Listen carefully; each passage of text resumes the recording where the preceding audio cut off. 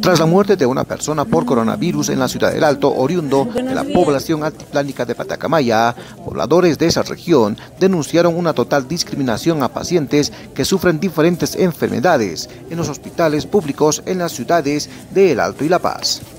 Yo personalmente acompañaba al paciente que no era un, ni sospechoso de coronavirus ni positivo nada. Era un paciente con pericia que necesitaba atención de emergencia, un abdomen agudo.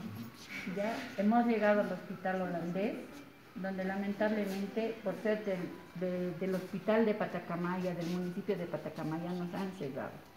Nos han dicho muy textualmente de que de Patacamaya nada ingresaba al hospital. Entonces yo quiero hacerle esa denuncia. El paciente ha tenido que buscar dónde ir de manera particular a otro establecimiento. Yo...